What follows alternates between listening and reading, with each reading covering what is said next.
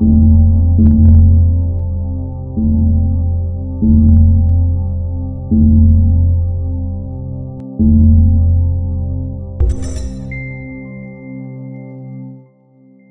are on Chapter 7 The Secret to Thriving in a Time of Crisis. Most of life's battles are fought inside ourselves, and our greatest periods of growth usually come during crisis. Robert Sheed. The secret to thriving, not just surviving, in a time of crisis is effective management. Let me repeat that with emphasis. The secret to thriving is not just surviving in a time of crisis is effective management. I am not trying to get on your nerves by reducing everything to statements about effective management. While that may sound like a dull phrase, the reality behind it is far from dull. Yes, effective management itself is mostly a secret, hidden thing, noticeable more when it is missing than when it is operating effectively and smoothly. I will admit that unless you happen to be writing or reading a book about it, or unless your pastor or your business guru has decided to teach about it, you probably will not think much about effective management per se. But when you have a time of crisis, the secret gets exposed. There's only one way out of a crisis good management. You have to manage your way out of your crisis, and other people will be watching you. Even if they do not know what to call it, they can see you in action. They will be watching while you manage your way out of your crisis, and they will be able to tell whether you did it effectively or not. They will be able to tell whether you are barely surviving your crisis or actually thriving in the midst of it. Certainly, other people can see it when you manage your crisis ineffectively. That is when you almost fail to emerge from crisis mode.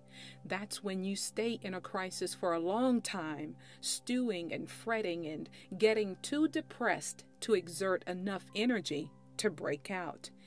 If that is you, I'm sorry to say that it is not effective management.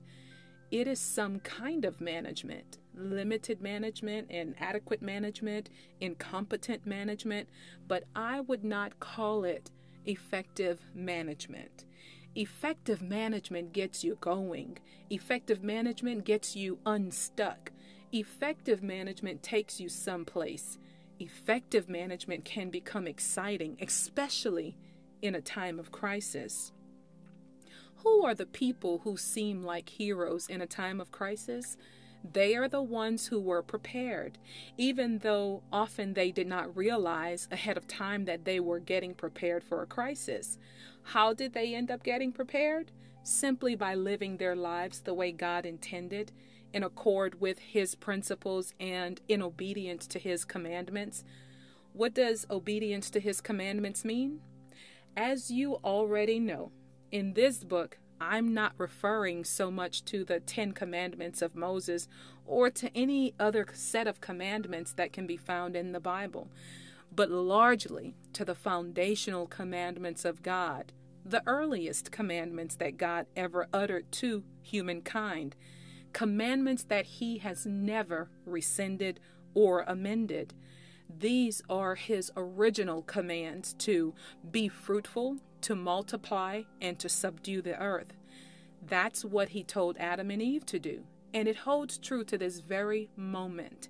He himself continues to be in charge of the operation of the entire universe, and he has handed over the management of the operations of the earth to human helpers. That includes you and me. He wants us to look to Him for day to day and year to year guidance. He wants us to take our marching orders straight from His throne. He wants us to consult with each other and to collaborate together. If we follow His guidance for the details, walking the straight and narrow path that He sets out before us, see Matthew 7 13 through 14, we will see good results. This foundational set of commandments from God is a command or mandate to manage the resources of the earth. It undergirds everything that we do. If we are obedient to this simple set of commands to the best of our faith filled ability, we will be prepared for whatever comes our way. We will be effective managers and we will be the most likely people to thrive in any crisis. God as boss. God gave human beings the responsibility to manage the earth's resources, but He will always own the resources. In the kingdom of God, nobody owns anything except God. Human beings were given dominion and managership, not ownership. Dominion over the earth's resources is our primary assignment. Once we lay hold of this fact, the purpose of our lives becomes clear. No longer do we need to get anxious about having enough money or food or any other kind of resource. Our job is to manage the resources, not to generate them. Yet, being part of God's kingdom does not guarantee us a free ride. Ever since God put forward his divinely inspired goal of having humans extend the culture of heaven on the earth through the cooperation of kingdom citizens such as you and me, the task has involved work. Adam worked the soil to tend the garden. Laboring and sweating, he managed the resources God had provided. That is still true today. Each one of us, separately and together, needs to labor and sweat to manage the resources of the earth. By means of our toil, we reap the fruit we need to sustain our lives and to carry on the effort. The more effective our work, management, the more resources God will give us. In other words, the more effective our management, the more growth we will enjoy. The more growth we enjoy, the more fruit we will reap. The more fruit we will reap, the more of God's kingdom will be established on the earth. God will not trust you with more than you can manage. He simply prevents growth where there is no management. He did not send the rain to water the garden until he had created Adam to manage the growth that would result from it. God will not allow development where there is no management. God will not allow anything to expand unless he has a man or a woman who will manage that development.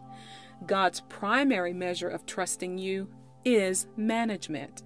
Through your faithfulness and through your faith, God's kingdom gets extended one person at a time.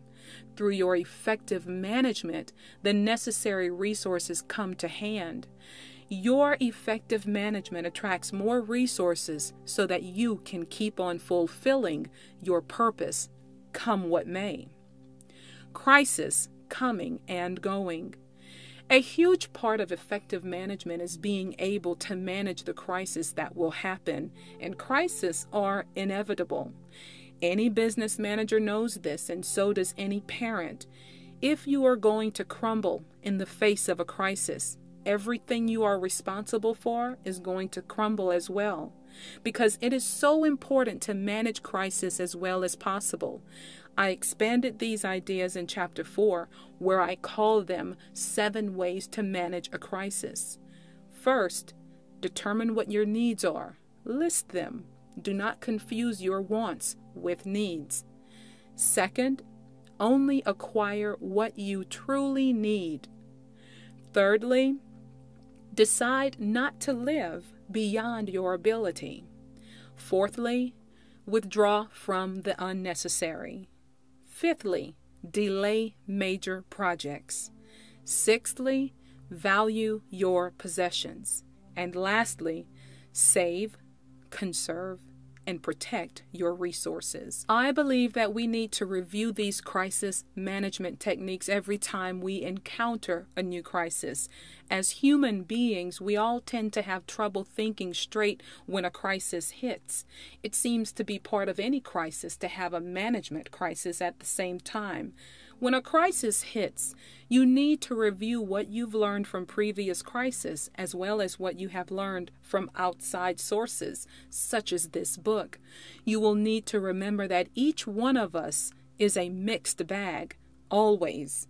Nobody is perfect.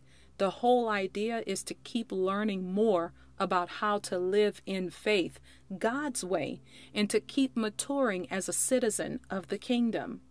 When a crisis comes down on top of your head, you may well discover some things that you were doing right all along. Praise God for that. Maybe this time you really were living within your means. So even though the bottom has fallen out of the job market and you are unemployed, you do not have to contend with debts. Maybe you will have acquired what you truly need. So now you will not need to divest yourself of a lot of extra stuff. But I guarantee you that before this crisis ends, you will have learned some new things. Praise God for that too. He is your divine shepherd, and He is making sure that you will be strong enough for the long trek ahead. He is using the circumstances of life to make you into more of a kingdom bringer. The money mentality. I have said that effective management attracts resources. As a crucial part of managing a crisis, we must identify which resources we truly need, and then we must save, conserve, and protect those resources. Our effective management is expressed by means of effective saving, conserving, and protection of the resources that God has entrusted to us. In the long run, our effectiveness attracts more resources. Sometimes, however, all the resources look as if they have vanished, especially monetary resources. Where did they go? They must be here somewhere. No money got shipped to the moon or to Mars. The billions must still be on Earth somewhere. All the gold and silver must be hidden somewhere. It is up to kingdom citizens to exercise effective management and to manage those monetary resources out of their hiding places. God says, I will give you the treasures of darkness, riches stored in secret places, so that you may know that I am the Lord, the God of Israel, who summons you by name. Isaiah 45 3. God says He will give you the riches stored in secret places if you save, conserve, and protect or manage the resources He has given you up to this time. Managers get value for their dollars. Managers use their resources effectively without waste. Then, when a time of crisis comes, they keep on doing it. They manage their way right out of the crisis and graduate up a level. When the stock market crashes, they're in a position to buy up the cheap stock. When unemployment hits, they have a cushion in the bank. They were not living above their ability or from paycheck to paycheck. When a natural disaster or a health crisis hits, they have the saved up resources they need to write it out. If you want God to bless your life, you need to learn how to manage the resources He has entrusted to you now. You need to look at your life through the practical lens of Proverbs, like the following one, which have a lot to say about conserving resources and money. Ants are creatures of little strength, yet they store up their food in the summer. Proverbs 30:25. The ant saves in summer because in winter there will be no food. At this point in time, an economic winter is starting to come over our whole earth. Have you conserved your resources? Have you been an ant or not? Of what use is money in the hand of a fool since he has no desire to get wisdom? Proverbs 17:16. You need to be a man or a woman of integrity, not a person who only pretends to have resources. Pretending to be wealthy doesn't buy you anything. What good is it to acquire a Rolls Royce and park it in front of a one bedroom house? What do you think you are proving when you get a satellite dish that is bigger than the bedroom roof it is sitting on? That is a pretense, and it is a foolish way to handle the money you do have. The writer of Proverbs puts it this way One man pretends to be rich, yet has nothing. Another pretends to be poor, yet has great wealth. Proverbs 13:7. Dishonest money dwindles away, but he who gathers money little by little makes it grow. Proverbs 13:11. Next time you start to complain about not having enough money, consider this.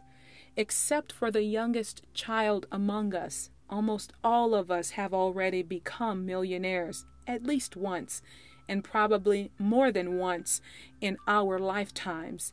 Yes, you are a multimillionaire. You just don't have all the money anymore. But you had it when you needed it, didn't you? It went through your hands. Millions of dollars have passed through your hands in some form. And whenever a money crisis has hit, you have learned to turn to the source again. He has always given you what he felt you could manage. He has been giving you management lessons. He is still doing that, and you are still learning. It can take a while to grow up into full maturity as a citizen of the kingdom of God. The secret to thriving in times of crisis is the same as the secret to thriving in the non crisis times. The secret is management, and effective management implies trust. Get your feet planted solidly on the rock. It's worth any crisis you have to live through.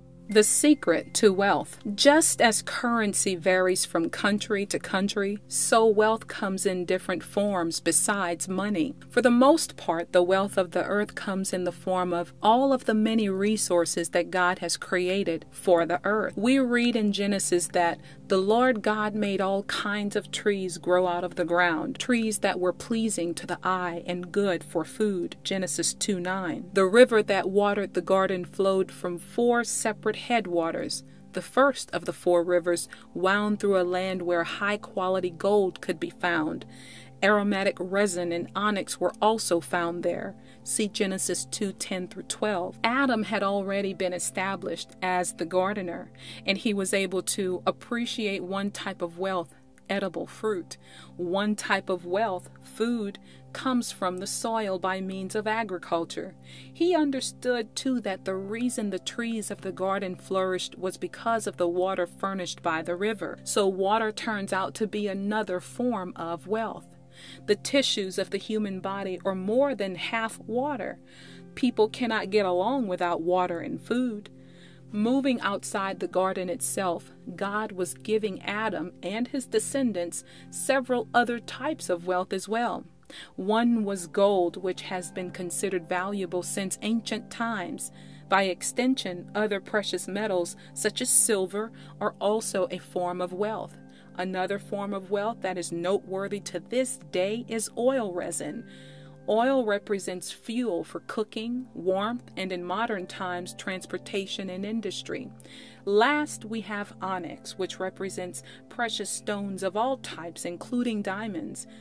I call these the five foundations of wealth. First, fruit or food. Second, water for life support. Third, gold and other precious metals. Fourth, resin or oil for fuel. And five, onyx and other precious stones. God gave each of these to Adam. In essence, God said, Adam, I give you every fruit for food. See Genesis 2:16. Then he said, I give you water, then I give you gold, I give you resin, I give you onyx. By giving them to Adam, God was giving them to us. Because these five commodities are foundational, anyone who deals effectively in them will be able to become wealthy. When a time of crisis comes, people will revert to the foundational commodities. Which would you rather have in a time of crisis? A valley filled with vegetables or a Silicon Valley? God gave beautiful advice to Adam. He started with agriculture and water. They are like the foundations of the foundations. After food and water are secured, then Adam could go digging in the ground for gold, oil, and precious stones. When we reverse the priorities, we die for lack of food. We have discovered that the hard way by making the last priorities first. Instead of taking good care of the resources that God gave to us, we've messed them up. We have fouled up the water and the soil with chemicals and erosion and overcultivation. We have fought wars over gold, oil, and other types of wealth. We keep going after things that human beings do not really need. In a nutshell, we are greedy. We must keep coming back to greed as the reason for our economic crisis. People have desired more wealth than they could manage, and they have not been afraid to do harm to acquire it. They have confused their wants with their desires. The whole time they have divorced themselves from God, who could have instructed them with wisdom and the ability to manage the resources they had at the beginning.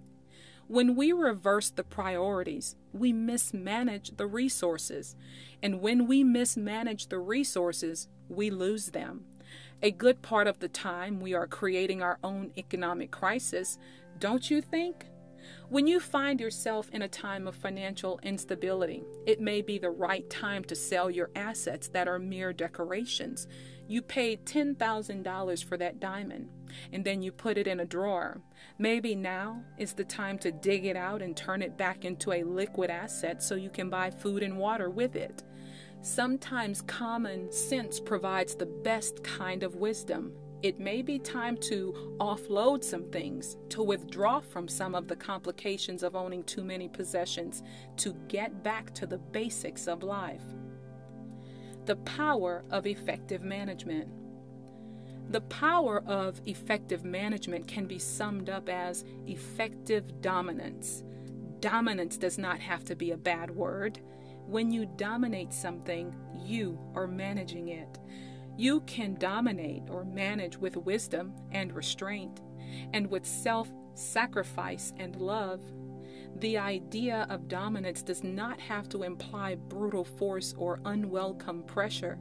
In fact, if everyone exercised the right kind of dominion, we would all have enough resources because, as I've already explained, effective management attracts more resources. Dominance does not mean that a few people are in charge and that the rest of the people have to submit. When God told Adam, Be fruitful, multiply, subdue the earth, he was summing up what it would take for Adam and his descendants to be effective in managing the resources of the earth. In actual fact, God did not tell Adam to subdue the other people who would populate the earth. That kind of dominance is what has given the word a negative connotation. God told Adam to subdue the earth's resources. We are descended from Adam. Therefore, like him, we have the same assignment be fruitful, multiply, subdue the earth, and this means manage the resources. In the context of that universal purpose statement for all of humankind, God has given every single individual an assignment, a purpose. You have a part to play as much as I do.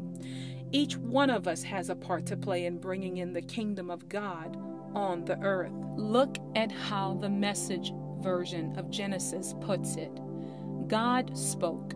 Let us make human beings in our image Make them reflecting our nature so they can be responsible for the fish in the sea, the birds in the air, the cattle, and yes, earth itself, and every animal that moves on the face of earth.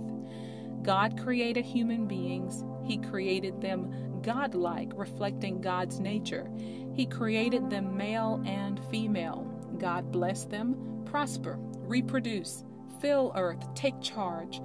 Be responsible for fish in the sea and birds in the air, for every living thing that moves on the face of earth. Then God said, I've given you every sort of seed bearing plant on earth, and every kind of fruit bearing tree, given them to you for food. To all animals and all birds, everything that moves and breathes, I give whatever grows out of the ground for food. And there it was God looked over everything he had made. It was so good, so very good. Genesis 1 26 through 31, the message version. God created the first people to reflect His nature. He created resources so that they could survive and thrive. He wanted both the people and the resources to be multiplied to fill the earth. He wanted the culture of the earth to reflect the culture of heaven. And that means that He wanted people to prosper. In order to prosper, they simply had to follow God's instructions to be fruitful, to multiply, and to subdue or dominate the earth. Sounds simple, doesn't it? Yet, without even thinking very hard, you can start to get discouraged. By this time, everything in the world is so badly messed up. Where can you start to undo the mess? Everywhere you turn, you find a crisis or a crisis in the making. Often those crises were made by somebody else, and you cannot make another person or country or human culture change, can you? Why should you even bother about it? You cannot undo the past, but you can do something with your own life. In fact, your own life is all you have to offer. Your personal assignment What portion of the resources of the earth has God created you to manage, subdue, or dominate? He has given you some kind of an assignment because He has built into every human being a purpose, something to produce, something to reproduce. Your assignment does not have to be gardening or farming or gathering food as it was for Adam. Your assignment will use whatever natural and spiritual gifts God has given you. It will encompass the whole of your life, not only your career path. It may well be a collaborative assignment, something that will require you to work alongside other people without whom you will not be able to accomplish your purpose. Most of our assignments are collaborative. If you have a gift of musical talent, ask God what He wants you to do with it. Does He want you to sing by yourself in the shower? Or does He want you to multiply your gift by reproducing your music on a CD? Does He want you to instruct and encourage budding musicians? Does He want you to coordinate the musical efforts of other people, thereby helping to fill the earth with music? If you are supposed to have dominion over the earth, you must use what resources and gifts you started with, and with God's help, multiply and distribute them you need to distribute goods and services. You cannot stockpile your goods in warehouses, literally or figuratively, or you may die of poverty, and so may the people who were supposed to receive your goods. Any business person knows that the number one burden on business is inventory. Excess inventory is a business killer. Excess inventory means that your fruit is stored up instead of getting taken to market. Taking it to market is distribution, multiplication. Distributing it effectively is the same as subduing the market. If you subdue your market, you can control it and you can take dominion in that market, which is a little corner of the earth. Go beyond managing your crisis. So, whether you're in a time of crisis right now or whether you are preparing and bracing for a crisis storm, conserve your resources, but do not hoard them. The secret to thriving in times of crisis is to effectively manage the resources you have, starting with the most important ones. Find out what your fruit is and multiply it. Ask God to help you do it. Rely on His guidance and His strength all day long, every day of your life. Then, when a crisis hits, you will be able to manage that too with the strength that God supplies. If, in the course of fulfilling your kingdom responsibilities, you discover that you have strayed somewhat, get back on the path by repenting and going back to where you strayed so you can resume making progress. If you accumulate too much stuff or too many extra responsibilities and you have to offload something, do it as fast as you can. If you have to change your tactics, change quickly. You will have to work hard, so just do it. Do not be lazy. Keep pressing forward. Do not make your personal